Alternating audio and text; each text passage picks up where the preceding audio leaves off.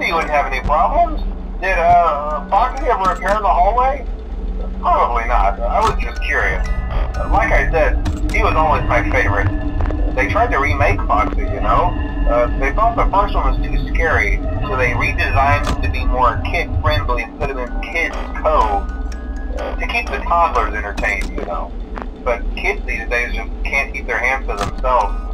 The staff literally had to put Foxy back together at the end of every shift. Eventually they just stopped trying and left him as some kind of take apart, put back together attraction. Now he's just a mess of parts. I think the employees refer to him as just the mangle.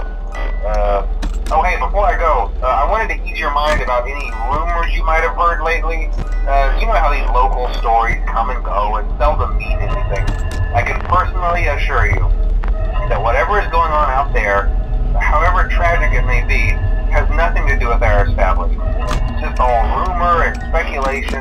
people trying to make a buck, you know.